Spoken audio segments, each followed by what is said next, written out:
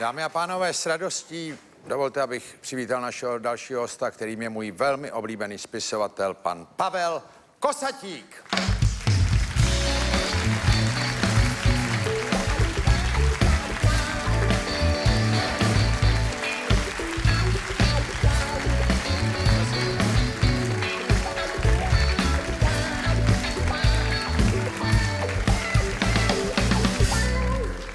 Pan Pavel Kosatík, pro ty, co by náhodou neznali jeho knížky, určitě budou znát seriál České televize, uh, jak se jmenoval, České století. České století, totiž jsem malem řekl 20. století, České století, ale napsal řadu knížek, on je jich hodně. Kolik vy jste jich napsal dohromady už? No, já nevím, kolik, přes 20. Přes 20 knih, ale to je České snění, Čeští demokraté, uh, Česká inteligence, nebo... Já nevím, ty tituly neříkám asi přesně, ale já jsem jich řadu čet a já čtu s radostí, protože řekl bych, že vy máte opravdu nový pohled na ty historické osobnosti i souvislosti s nima spojený proti tomu, co jsem vždycky čet předtím, že to zaprvé není tak historicky školomecký a někdy je ten pohled zcela nový, to mě na tom hrozně baví. Tak co vás na to štve? Ne, že Ne, děkuju. že, Ale- že no. dřív to bylo jako trošku, když člověk čet ty historické knížky, jak to bylo, když čte učebnici, než to to vaše, eh, ten váš pohled je vždycky zajímavý, atraktivní a někdy je dokonce na český poměry nezvyklý, české snění určitě, eh, protože pohled na český ideály a s určitou odměřeností a takovou lehkou ironií eh, pro mě bylo ohromný překvapení, že to někdo tak umí napsat jako vy. A ostatně i to české století. Tak raduju se, no, tak člověk se snaží, aby ho to samotného bavilo a A ono to může být tím, že vy nejste historik, jako no jasně, původně, že samozřejmě. A, ani, ani, ani teď nejsem já, Vy jste- a, a nikdy nebudu. Nebudete. Myslím, že ne. No, tak vy to nepotřebujete, vy to, jak si... V dobrým doufám, že ne, no. No, vy jste dostal několik cen taky novinářských, že jo? Cenu taky Ferdinanda Peroutky. Nevím, jestli to je pořád cena, když dostal takový nášup od Zemana. Ale to- Uh, tak jestli by se to nemělo změnit, že by byla novinářská cena Miloše Zemana, kterou by dostal vždycky někdo, kdo zešílel. To by bylo hezký. A nebo by mohla být toho ovčáčka. A vy jste často kritický i k té české společnosti, tak řekl bych přiměřeně, nebo některé věci dovedete zachytit, což se mně líbí, protože uh, to taky moc autorů tady nedělá, nebo se to obává. A všim jsem si, to mě zaujalo, někde jste řekl v rozhovoru, že když jste v rozhlase, co tam říkáte, takže vždycky přijde pět naštvaných dopisů. Ale když říkáte něco hanlivého o Rusku nebo o Putinovi, takže přijde 50 pobouřených mailů. No, to je A toho já se si všim taky. Eh, No ne, a vy jste tam zmínil v tom rozhovoru, že máte pocit, že ten mediální prostor je hodně obsazený těma ale těma proruskýma jaksi tendencema, no, nebo... A to já mám stejný pocit, ale eh, vy jste první člověk, u kterého jsem to čet veřejně, že si to taky myslí. No, ono je těžký to dokázat a já Dokázat se bojím, abych nepůjde. sám eh, nezačal šířit nějaký konspirační teorie, tak to poslední, ono je jich dost a to, to by Ano. mě nastali, ne, nelákalo, ale jako fakt to tak je, že když člověk čte různý ty servery jako parlamentní listy a tak a, a dáte si to dohromady, k čemu to směřuje, tak, tak z toho ta otevřená náruč k tomu Rusku vám, to je vždycky to, co zbyde, no tak to, to, tam není celkem o čem spekulovat. Tak já nevím, čím je to prolezlý, kdo to platí a tak, ale prostě sleduje to tenhle ten směr. Ta- Tahle ta společnost se posuzuje do východní, eh, posunuje do východní náruče. No ale já myslím, že ona se tam velká část cítí. Součástí toho, té východní náruče. A proč? Čím to, To nevím, to jsem se vás chtěl vždycky? zeptat právě. No ne tak, podívejte, poslední dva prezidenti jsou výrazně pro ruský, Klaus i Zeman, to, to jsou v podstatě no. jako bojaři. A k- jako bonus jsme teď dostali Čínu, teda od Zemana, aby jsme se z toho probrali nějak. Jo, takže jako nemůžeme mluvit o tom, že tady nevíme odkud, když to jde od zora.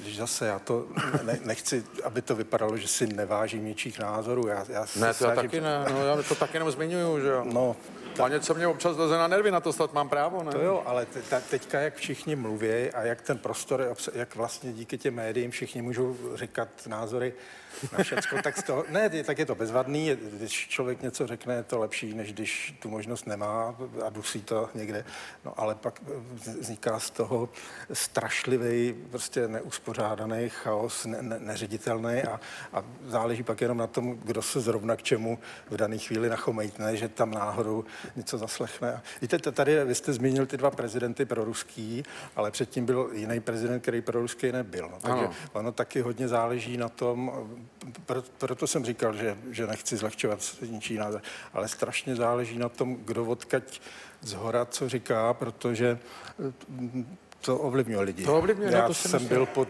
vlivem Havla a určitě jsem pod vlivem Zemana. Já ne, zatím se no ne, držím, to no, počkejte, ale- to je...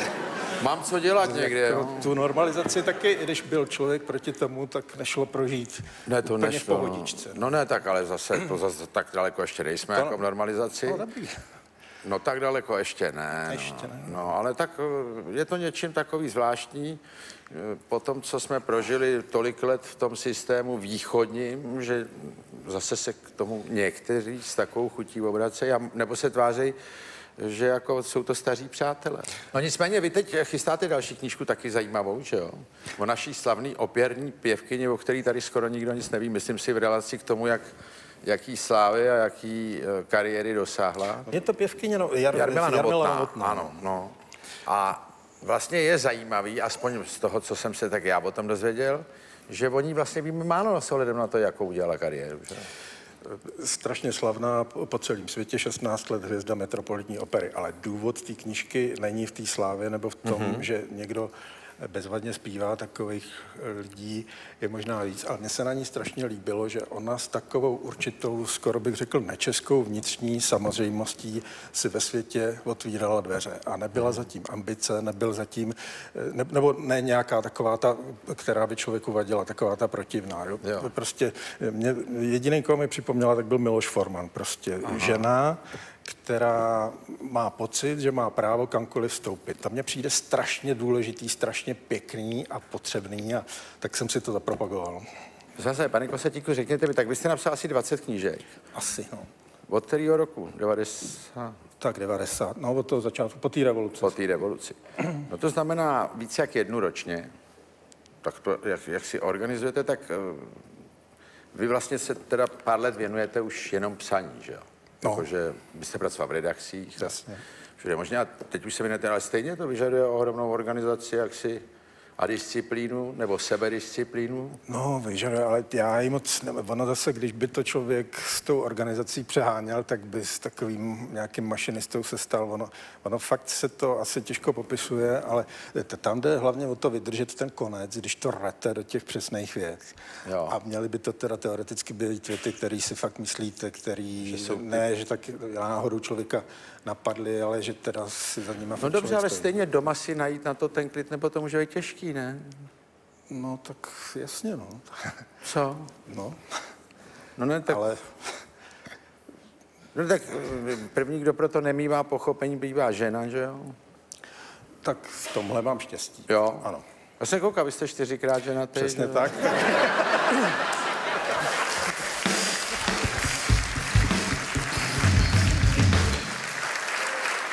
Čili klasický. Pouze v přítomném čase. Neklikař, no. Pouze v přítomném čase. Jsem, mám štěstí. No, ale... Uh, uh, no tak a děti taky čtyři, ne? Ano. No, tak uh, vy teda se flakat neumíte v žádném ohledu. Ale o to víc to obdivuju, tu produkci pracovní, protože to je o to větší obdiv, že to dokážete tak zorganizovat a pak ještě k tomu přičtěme teda ten televizní seriál, i když jste mohl použít asi materiály, které jste měl v tom, tak bych řekl, že jste i mistr v té organizace práce pro sebe teda.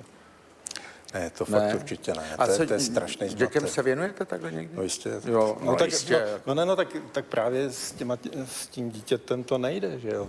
Si to zase no. tak moc organizovat, tak to, No, no to proto přece se víte, ptám, tak no. to... eh, My teď máme dvouletou holčičku, tak no. tam, jako kdybych toho moc organizoval, tak bych to toho nejde, moc no. nenaorganizoval. A byl jste s kočárkem někdy? No, jasně. Jo. Já potřebuji být opřenej do kočárku a pak, pak můžu něco psát. Já mám hrozně rád ty vaše knížky, chci vám za ně moc poděkovat. Myslím si, že dokonce si patří poděkovat i to, jakým oblastem se věnujete. Pro mě jste v tom velmi vzácný autor a moc vám za to děkuji.